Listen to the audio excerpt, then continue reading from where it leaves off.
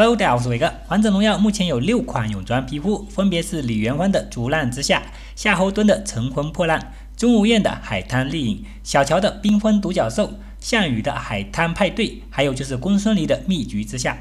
而目前正服更新新赛季后啊，居然有四款泳装皮肤的标签变了，分别是李元芳的逐浪之下、夏侯惇的乘风破浪、钟无艳的海滩丽影、小乔的缤纷独角兽。而这四款皮肤的半身像右上角标签从史诗或者勇者变成了王者之争了，而王者之争的标签是需要凤仪制造连续四个赛季都达到王者段位而送的皮肤才有啊。目前就百里玄策的原初追逐者才有这样的标签，没想到这次更新后，四款泳装皮肤都换上了这样的标签啊，这是给这四款皮肤升级品质吗？